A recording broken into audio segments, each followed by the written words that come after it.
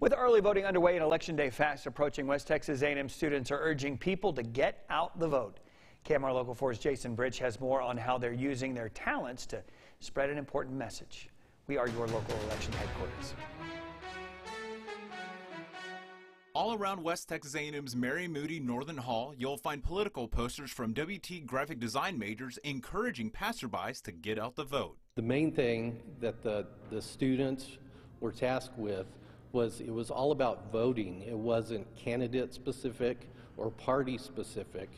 Just get out the vote. Some of the posters include the works of Tanner Mahan, Kristen Baker, and Edgar Martinez. I wanted them to be um, symbols to get people to go out and vote. So I chose three different symbols for each poster, and I wanted them to be cohesive and flow together as well. With this design, I wanted to make it to where, um, you know, it had all the 50 states kind of included.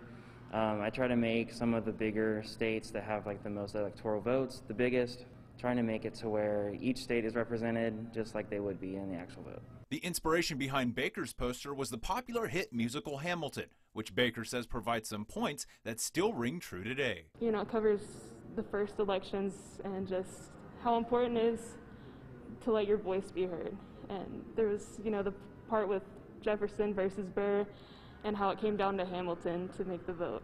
And so it can be down to one person. And no matter the idea, Melton says it's all about making your voice heard. Right now, it's imperative and it's perfect timing. I couldn't be more proud of our students. In Canyon, Jason Bridge, KAMR Local 4 News.